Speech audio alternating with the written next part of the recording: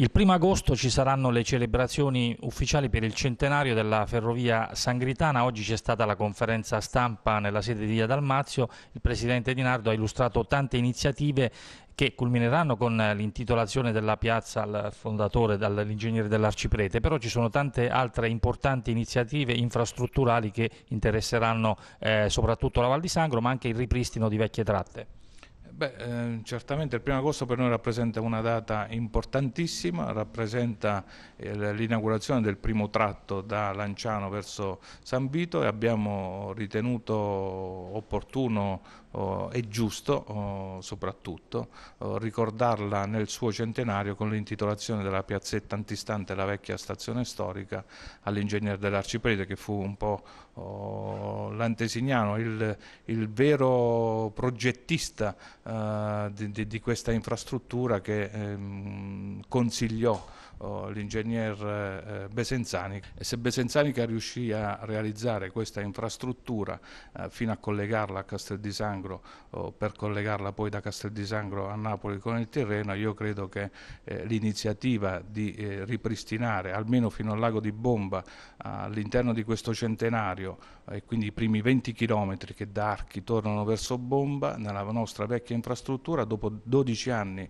di completo fermo io credo che stiano a segnalare segnalare, a testimoniare l'importanza che questa amministrazione ha nei confronti del proprio entroterra, non solo, ma anche nei confronti di una utile possibilità di tornare fino a Castel di Sangro e di conseguenza riconnettersi fino alla, alla famosa Sulmona eh, Carpinone di cui anche in altre occasioni abbiamo avuto modo di parlare. In sostanza la possibilità di promuovere un territorio oh, interno, oh, spesso mh, dichiaratamente completamente abbandonato per farle rivivere anche attraverso le sue bellezze eh, naturali anche eh, con, con, quanto fino, fino, fino, a dieci anni fa, fino a quando il Treno della Valle portava circa eh, 30.000 eh, viaggiatori in solo tre mesi, far rivivere anche quelle che erano le strutture nate per l'appunto oh, di, di, ospitalità eh, e di ricezione nate appunto in, in considerazione di questo mezzo ma eh, la eh, novità delle novità è rappresentata certamente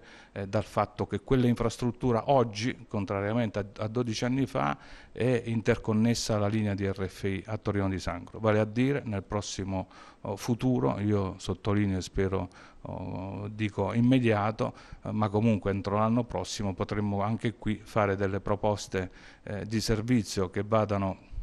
dalle prossime eh, Marche alle Puglie per portarli eh, qui da noi eh, verso appunto Bomba e magari l'anno prossimo verso Villa Santa Maria per meglio far conoscere eh, il nostro territorio. Ma non è solo questo, ovviamente la, quella infrastruttura sarà utilizzabile non, non, più solo ed esclusivamente per il trasporto merci che attualmente eh, continuiamo a fare per Sevel e per le altre industrie localizzate a Saletti, ma anche per i passeggeri, vale a dire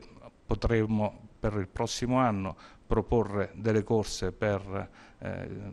per, sostituire le cosiddette corse operaie che fino ad oggi vengono svolte attraverso trasporto pubblico su gomma, eh, una proposta di trasporto su ferro, vale a dire l'eliminazione anche qui di una serie di eh, inutili eh, inquinamenti eh, prodotti eh, sia in termini di mezzi che, che di emissione. In tema di riorganizzazione del trasporto pubblico mi sembra lei accennava al fatto di dividere le divisioni ferro e gomma.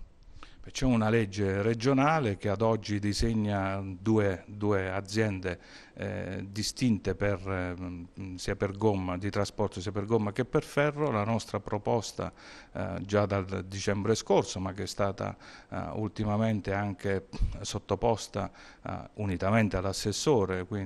ma anche con eh, l'avallo da parte dei sindacati, quella di individuare un'azienda unica questa volta.